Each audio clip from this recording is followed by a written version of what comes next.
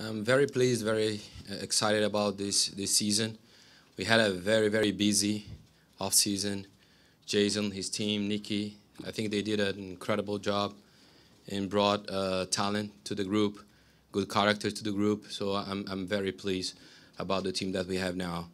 Uh, this this was part of the strategy we talked about after the end of last season, when uh, when at, at this moment last year we decided to move what we call the one step ahead, and we saw the other teams in our conference.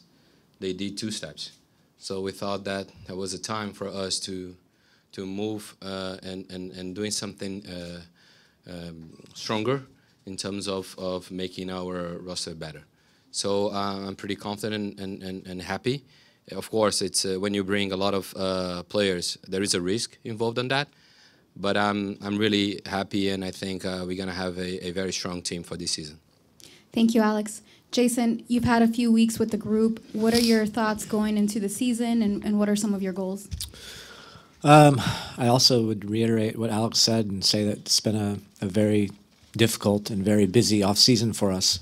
Um, we're making some some bold moves, as everyone can see, um, and we're doing that um, with a particular goal in mind, and that is to improve the team to a level where we're competing week in and week out, uh, to a level that hopefully we can make the playoffs. That that remains everybody's first and foremost objective in our league, uh, and it is for us in 2018. There could be no doubt about it.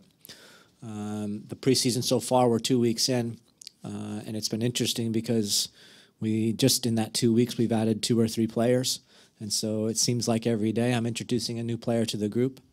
Um, but it's exciting uh, and the mentality of the group and the passion that the group is training with and the camaraderie that the group is showing uh, towards each other and towards the coaching staff is second to none. Uh, and so you, as a coach, you tend to try to judge things at this point of preseason more on the, the spirit and what the players are willing to give and how much the players are willing to learn. Uh, and on those three things, I can say I couldn't be more pleased tactically and technically, we know we have a lot of work to be done over the next four weeks to prepare ourselves for a very difficult season. Um, but we believe in the group that we have. We believe in these guys, and we believe that this is going to be a special year for Orlando City Soccer Club.